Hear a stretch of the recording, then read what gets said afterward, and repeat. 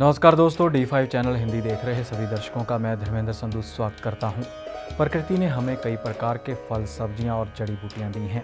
यह खाद्य पदार्थ हमारे शरीर के लिए बेहद फ़ायदेमंद हैं। पोषक तत्वों से भरपूर ये फल इत्यादि खाद्य पदार्थ हमारे शरीर का पोषण करते हैं।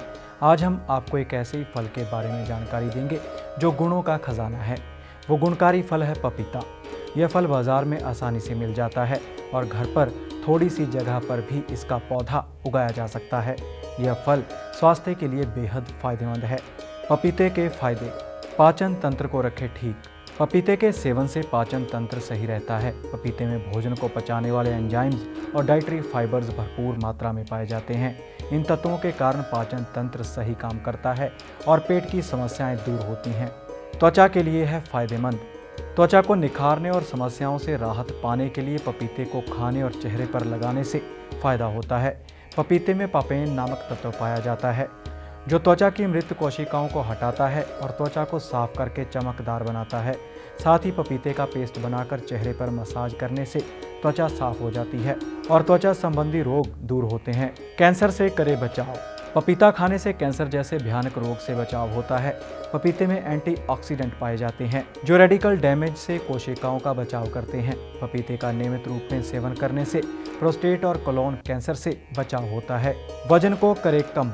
पपीते का सेवन करने से वज़न भी कम किया जा सकता है, क्योंकि पपीते में काफ़ी मात्रा में कैलोरीज होती हैं। वज़न कम करने वाले लोगों को पपीते का सेवन ज़रूर करना चाहिए।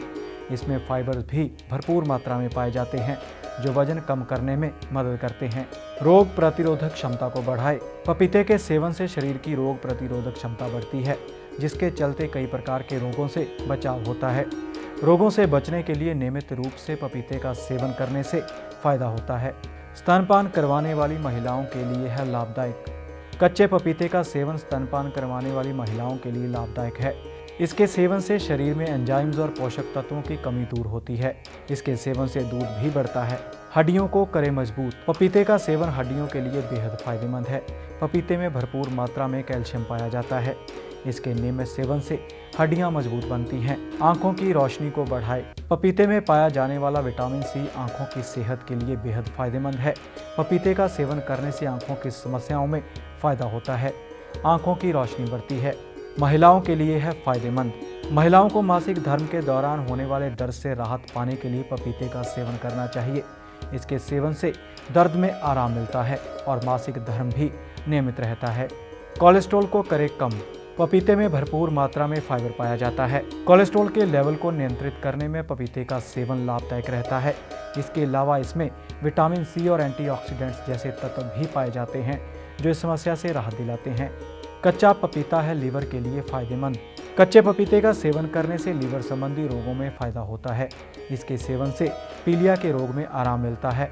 कच्चे पपीते का सेवन सब्ज़ी बनाकर या चटनी के रूप में भी किया जा सकता है। पपीते के सेवन के नुकसान पपीते की तासीर गर्म होती है। गर्भावस्था के समय महिलाओं को इसका अधिक सेवन नहीं करना चाहिए। इससे गर्भ में पल रहे बच्चे को नुकसान हो सकता है। पपीते का सेवन करने से पहले गर्भवती महिलाओं को डॉक्टर की सलाह लेनी चाहिए। पपीते का ज़्यादा मात्रा में सेवन करना पेट और आंतों के लिए नुकसानदायक हो सकता है। सो दोस्तों, ये थी पपीते के औषधीय गुणों से जुड़ी जानकारी। ऐसी जानकारी लेकर फिर हाजिर होंगे। जुड़े रहिए डी फाइव चैनल हिंदी के साथ।